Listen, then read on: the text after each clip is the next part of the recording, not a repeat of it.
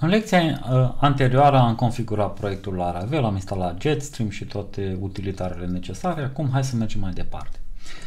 Deocamdată ne vom ocupa cu partea de backend, API, bază de date, deci nu vom lucra foarte mult în frontend, asta o să lăsăm la urmă. Din potrivă, probabil vom folosi uh, alte tehnologii pentru frontend, nu trebuie să folosiți neapărat Laravel. Eu am să vă prezint totuși o soluție, o soluție full stack, backend, frontend, tot complet cu Laravel, dar vă prezint și cum faceți uh, un frontend pentru acest Laravel cu alte tehnologii uh, complet separate de ce facem aici, da? de exemplu cu React sau Vue.js.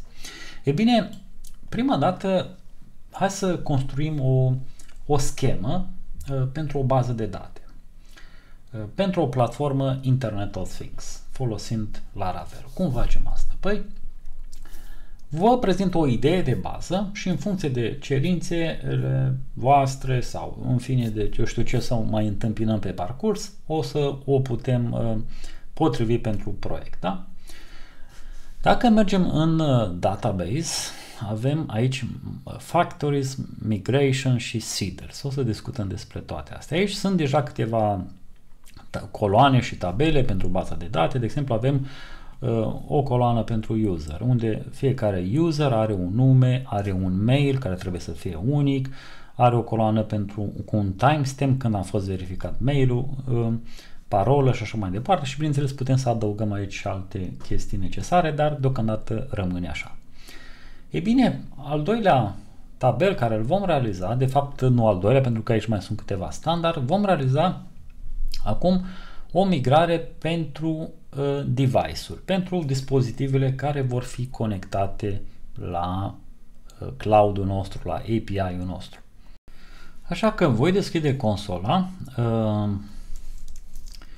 și uh, de fapt vom, a, vom avea nevoie și de un model și de un factory și de un seeder.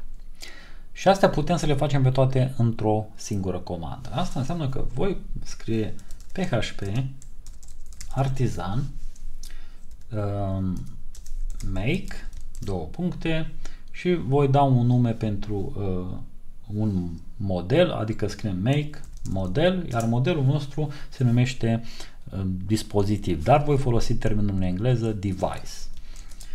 Device, iar după acesta voi adăuga o linie și scriu M, F și S. M este Uh, prescurtarea de la migration și generează o nouă migrare pentru acest model device. F uh, este prescurtarea de la factory și generează un nou factory pentru model, iar S este prescurtarea de la seed și generează un nou seeder pentru model.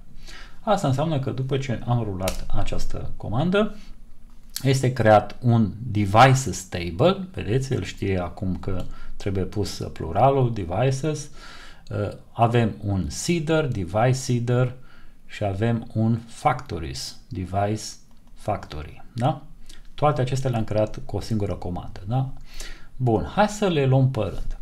Prima dată vom mergem în device și să vedem ce facem aici. Acum va trebui să definim aici uh, relațiile uh, și coloanele pentru device și trebuie să vă gândiți în felul următor avem deja un, o, un user, să spunem, da?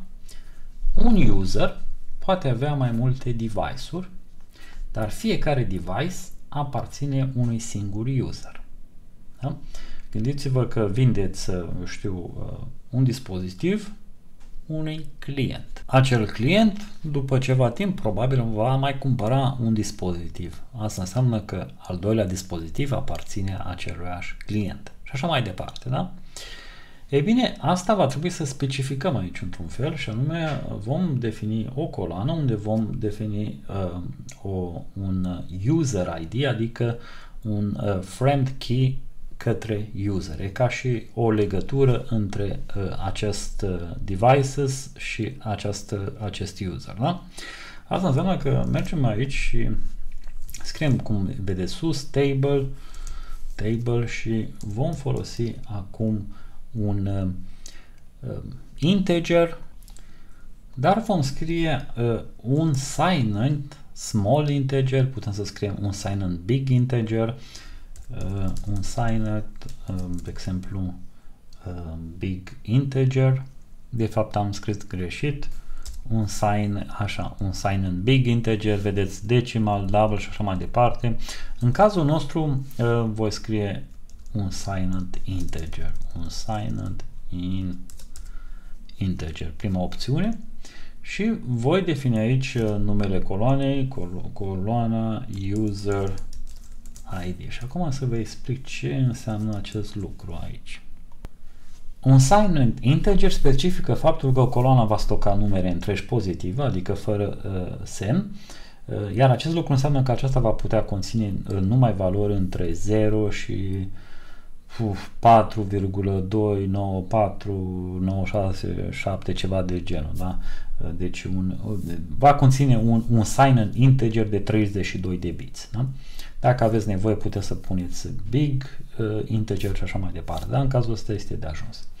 Iar acum user ID este numele coloanei. În acest context este vorba că um, Coloana va stoca ID-ul unui utilizator servind ca cheie străină care face legătura cu, altă, uh, cu un alt tabel, de exemplu tabela user în cazul nostru. Da? Asta înseamnă că acest device aparține unui user și așa mai departe. Bun.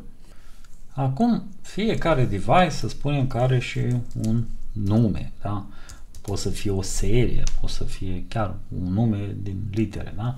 Asta înseamnă că voi folosi aici un, un, un string și am să-i pun un nume name. Da?